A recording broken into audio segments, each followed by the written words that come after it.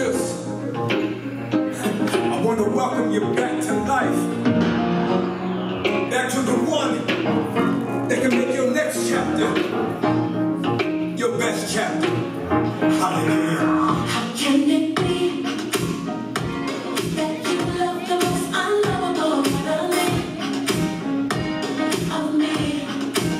How did you see your life was the only gift I ever